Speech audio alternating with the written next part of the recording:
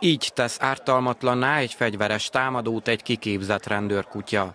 Ez volt az egyik leglátványosabb és kétség kívül leghangosabb bemutatója a Városháza előtt pénteken tartott rendőr és tűzoltó napnak.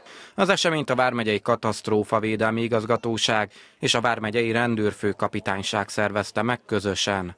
Farkas József rendőrfőkapitány szerint az esemény iránti érdeklődés bizonyítja, hogy az emberek elismerik a rendvédelmi szervek munkáját.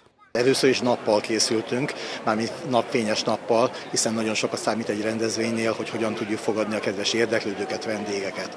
Nagyon örülök neki, hogy külföldi vendégek, román kollégák, ukrán kollégák, szlovák kollégák is elfogadták a meghívást, és az a mai nap egy picit közelebb engedi a lakosságot, a saját kollégáinkat is bemutatva a, a hétköznapok munkáját. Addig jó, amíg bemutató van, és nem éles helyzetbe kell tennünk.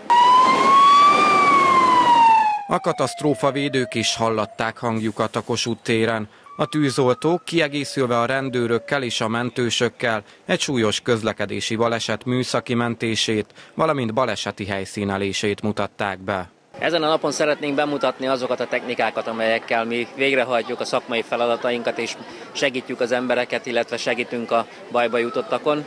Minden mellett kitelepültünk egy olyan sátorral is, amely a tevékenységünket bemutatja egy másik szempontból is, ami a hatósági szempontokat is figyelembe veszi, és hát várjuk azokat a fiatalokat, akik szeretnének hozzánk csatlakozni, és érdeklődnek ezután a pálya iránt, hogy különböző tájékoztatásokat tudjunk nekik adni. Minden mellett a közönségnek pedig készültünk egy olyan szakmai bemutatóval, amit a rendőrséggel közösen fogunk végrehajtani, és most fog következni, amelyben egy műszaki mentést fogunk bemutatni egy közlekedési baleset következményeként, ahol személyek szorulnak be. Ez egy nagyon fontos része a mi tevékenységünknek a körülbelül évente egy olyan 500 közlekedési balesetben vesznek részt, illetve nyújtanak segítséget a kollégáim. A toborzás nem csak a katasztrófa védelmi igazgatóságnak, hanem a Vármegyei Rendőrfőkapitányságnak is kiemelt célja volt a pénteki eseményen. Nagyon fontos, hiszen mindenhol az utánpótlásra figyelni kell.